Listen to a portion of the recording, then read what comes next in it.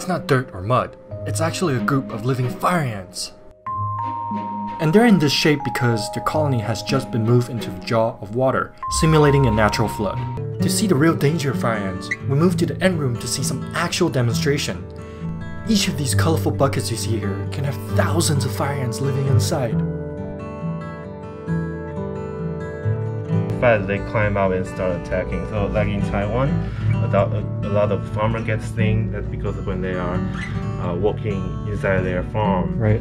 So in the beginning on the surface, it might, it might, it might not be, Well, you Really see, they, they, really, really just climbs but up. it's fast enough already. Yeah, it's like two or three seconds. But if you are like attacking or stepping inside their nest and they are really nervous and angry, in anger, you can see how fast it is.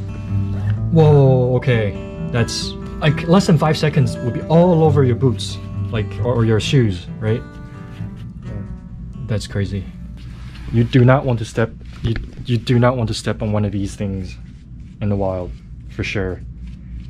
To truly understand just how these ants have caused so much damage, I've decided to let a couple fire ants to sting my arm. All right, wish me luck. 它就要像是有地方可以咬，它 Oh, oh, yo, yo. 哦有这个很厉害 Oh my god. 对 Whew. Okay, okay, okay. Wait, wait, wait. I'm, I'm good. I'm good. Let, let, let, let, let, let's see. It's uh, definitely stingy. Ooh. Okay. It's def- ooh, definitely stings. It bites and then stings. Okay, it, one is okay, but if there's hundreds of these guys just climbing up your legs, they can definitely do some damage. Okay, let's take it away. It stung me like three, four times. Mm-hmm. Those who have been stung by fire ants have described it as having their limb put in a ring of fire. With just a couple sting on my arm, I can already feel the burning sensation. Oh, see here I'm a little bit red. You see the white cut? That's where it. And then So they stung through the gloves. that's right. Yeah. Wow. So we often That's do crazy. two gloves. Has there any, like been actual fatalities caused by fire ants? I don't know the answer about Taiwan. I know in, in historically in the U.S., you know, a few people died a year. It's kind of like bee sting. You get. It's mostly people who are really allergic to um, to insect poison or something. Right. And so, just like a bee sting, you get too much of a shock, and then uh, some people um, do. Or maybe you're allergic to the, the sting. That's right. Yes. Right. Yes, yes. Thus far, fire ants have spread across the world, including Taiwan. And this is not only because of their painful stings. They have evolved another incredible power, the ability to survive floods. this ability that when there's lots of water coming, they uh, kind of form this big ball. They bring in all their eggs and all their, all their little babies. They put in the big ball and they're kind of in the middle. The queen's kind of protected in the middle. So they're really good at this. A lot of other ants with like a lot of water will just drown. That's enough. Oh wow, that's so cool. that is so cool.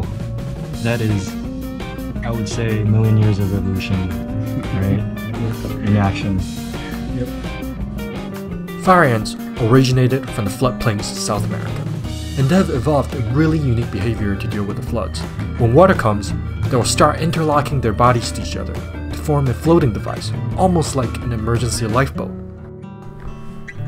And they're able to flow on top of water because when they hold tightly to each other like this, they trap tiny little water bubbles between them, creating many air pockets, as well as help them to float and to breathe.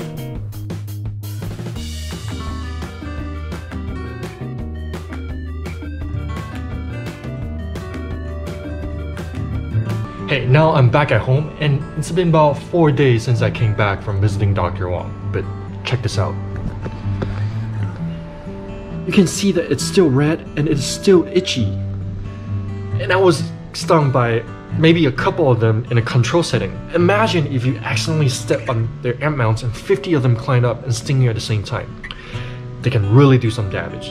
And that's why I want to make this video today to record the progress of the sting to show how serious these animals are. On the second day is when it really gets itchy, and one of the stings turn into a pustule. Makes you really want to scratch it, but you know you shouldn't. If you see a warning sign put up at the Fire and Bureau in the future, really stay away from them.